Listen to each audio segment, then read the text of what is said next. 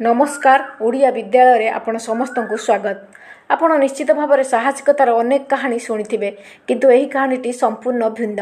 କାହିଁକି ନା ଏଥିରେ ଜଣେ ଛୋଟ ମୂଷା ମାନେ ହଜାର ହଜାର ଲୋକଙ୍କ ଜୀବନ ବଞ୍ଚେଇ ଦେଇଛି କେମିତି କାହିଁକି ଆଉ କେତେବେଳେ?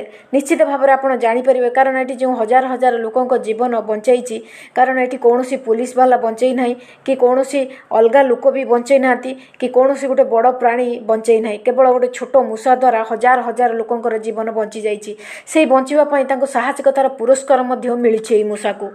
ଏକସ୍ତରୀଟି ଲ୍ୟାଣ୍ଡମାଇନ୍ ସୁଡ଼ଙ୍ଗ ସୁଡ଼ଙ୍ଗ ଖୋଜି ହଜାର ହଜାର ଲୋକଙ୍କ ଜୀବନ ରକ୍ଷା କରିବା ଭଳି ସାହସିକତା କାର୍ଯ୍ୟ ଏହି ବିଶାଳ ପ୍ରାଣୀ ଦ୍ୱାରା ନୁହେଁ ବରଂ ଏକ ଛୋଟିଆ ମୂଷା କରିଥିଲା।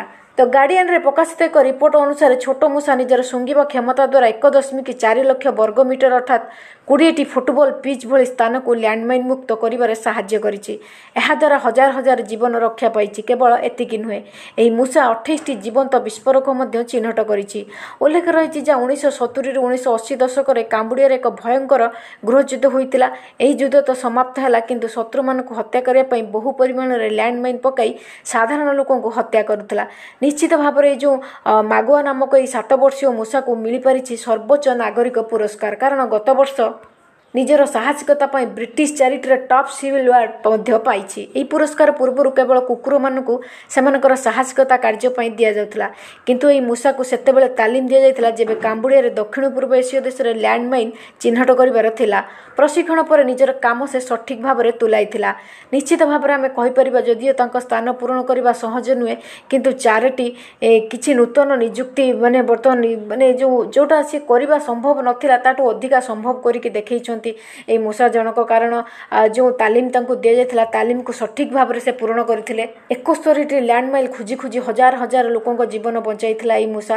କିନ୍ତୁ ବର୍ତ୍ତମାନ ଆସିଛି ତାର ଅବସର ସମୟ। କାରଣ ନିଶ୍ଚିତ ଭାବରେ ତାଙ୍କୁ ଯିଏ ରଖିଛନ୍ତି ସେ ଚାହୁଁଛନ୍ତି ସେ ବର୍ତ୍ତମାନ ମାନେ ଅବସର ନେବା ପାଇଁ ତାଙ୍କର ସ୍ୱାସ୍ଥ୍ୟ ଏବେ ଭଲ ଅଛି। ସେ ଯାହା କହିଛନ୍ତି ତାଙ୍କର ମାଲିକ କିନ୍ତୁ ବର୍ତ୍ତମାନ ଅବସର ଗ୍ରହଣ କରିବାର ସମୟ ଆସିଛି। ଅନେକ ସାହସିକ କାର୍ଯ୍ୟ ପାଇଁ ମାଗୁଆ ବର୍ତ୍ତମାନ ଅବସର ନେଉଛି। ମାଗୁଆର ହ୍ୟାଣ୍ଡଲର ମାଲିନ କୁହନ୍ତି ମାଗୁଆଙ୍କ ସହ କାମ କରି ମୁଁ ଅତ୍ୟଧିକ ଗର୍ବିତ ଅନୁଭବ କରେ କାରଣ ସେ ଏତେ ଛୋଟ ହୋଇଥିଲେ ମଧ୍ୟ ଅନେକଙ୍କ ଜୀବନ ରକ୍ଷା କରିବାରେ ସାହାଯ୍ୟ କରିଛନ୍ତି।